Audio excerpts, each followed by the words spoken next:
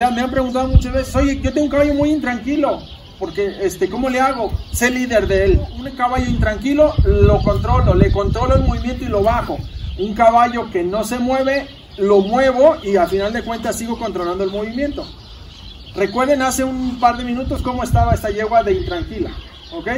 Hasta ahorita hice que se moviera estando yo frente a ella. Repito, Perfecto, gracias, agradezco. Ahora pido que vengas a conmigo. Perfecto, me paro yo y se para el mismo. ¡Ey! Que no. Voy a buscar que en el mismo momento que yo me paro, el mismo momento que ella se pare. Como si... Para atrás, para atrás, para atrás, para atrás, para atrás, para atrás, para atrás. Si no me obedece, incremento presión.